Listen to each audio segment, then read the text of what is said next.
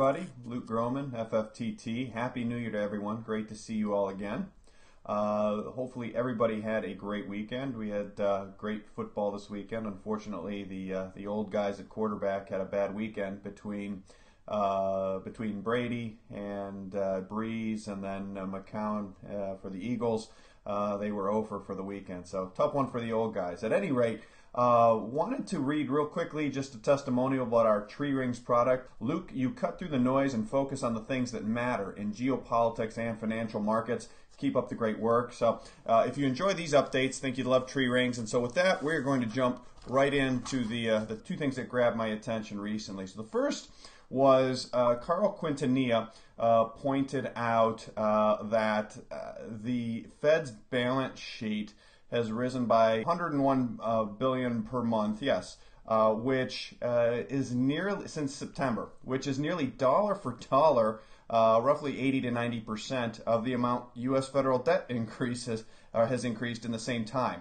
Uh, we don't think that's a coincidence. it's something we've been saying that basically what the Fed is doing is effectively financing U.S. deficits through the banking system. This remains a minority view for now. We don't think it's going to remain a minority view uh, for that much longer as we move through 2020. Second thing that grabbed our attention recently was uh, a Barron's article over the weekend. Uh, you know, hat tip to uh, Max for pointing it out or tagging us on it. But the Fed plans to consider permanent ways to keep money markets stable.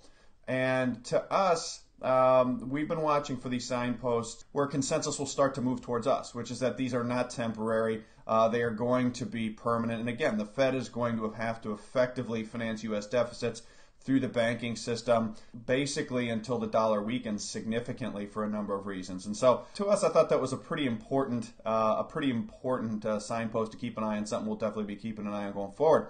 Couple quick questions we received. We're going to jump into those. First off, uh, from Jay, uh, oil prices. Just get our thoughts there. To us, we're fascinated to see that once again oil uh, has not responded in a real major way to what is a very major geopolitical development. Uh, and so uh, you saw it in September with the Saudi uh, explosions. You saw it in the last week with what's happened in Iran. Um, and to us, uh, I think it's further evidence that the uh, multi currency oil pricing and settlement is, is really a game changer because it, it shifts the marginal barrel of oil pricing uh, to uh, euro and yuan in particular. Uh, and that means it becomes a, uh, the, the, cross rate between the euro and yuan versus the dollar becomes critical to setting dollar oil prices. And, and in plain English, it means you're going to have a hard time having oil run away in a multi currency oil pricing system unless the dollar weakens significantly. So I thought that was. I thought that was pretty interesting what we've seen so far in terms of oil prices. Uh, from OD, Bernanke saying negative rates should at least be an option to consider to create market ambiguity.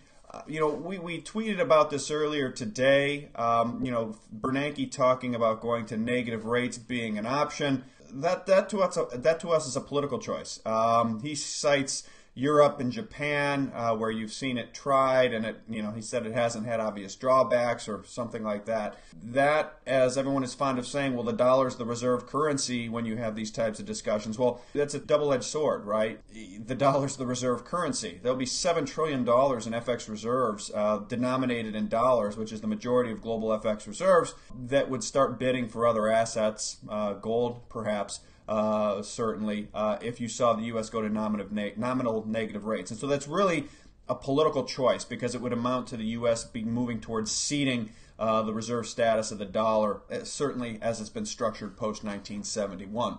Uh, let's see, next question from AR. Any thoughts on the current repo operations reversing in coming weeks? What that means for Fed liquidity and thus risk assets? You know, I think we could see some reduction in the amounts, certainly ultimately, though, they're not going to be able to go too far uh, unless you either get the dollar down, you get the Fed to slash spending in an election year, uh, which is sort of an LOL. That ain't going to happen.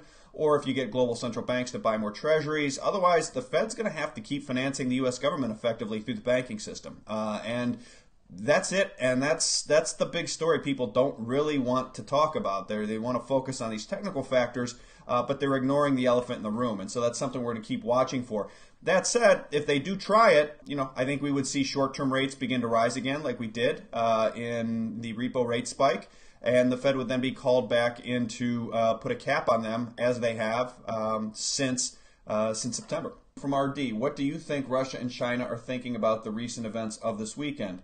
Uh, this is something we're watching closely. My guess is they are not particularly happy about it.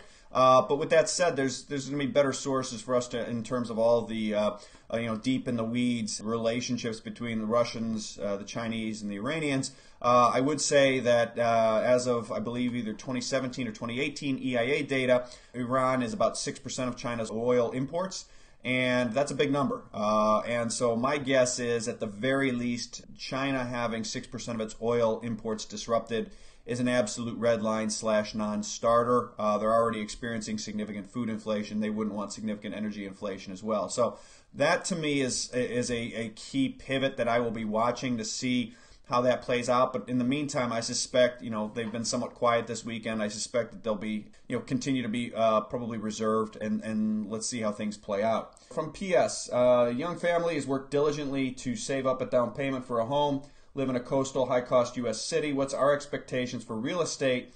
In these locations in coming years, better to keep running and put that money to work some other way. You know, for me, you know, housing's a, a, a very personal choice, right? It, it, depends on what your job is, what industry you're working in, what's your, your situation with kids, spouse, etc. So it's tough to offer advice on a one-off thing. I would tell you from experience is that for me, a house is less about uh, an asset that I plan to make money on and more about finding a good place uh, to raise my family and and so, you know, I lost money on my last house. I'll probably lose money on this house that we're in now when we move, uh, whenever, you know, our boys get bigger and move away. But I, I don't care. It's, they've been great places to raise families, uh, you know, raise our boys in both cases. And that's, that's the most important thing by far.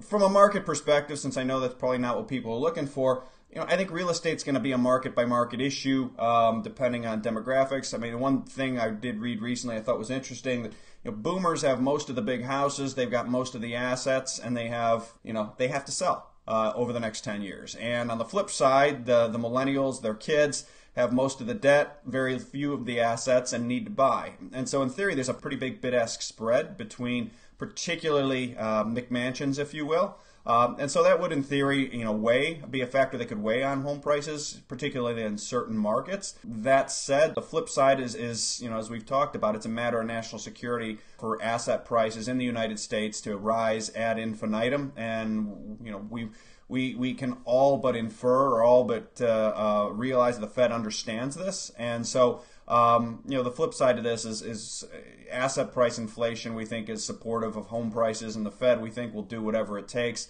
to keep them moving and up and to the right. And so that is something that's probably positive for real estate prices and demand all else equal. So with that, we're going to finish it up for the night. I want to thank everybody for joining us again. And as always, check us out, fftt-llc.com for more information on what we're up to and about tree rings we talked about earlier. Otherwise, everyone have a great week, and we look forward to chatting with you soon. Take care, everybody.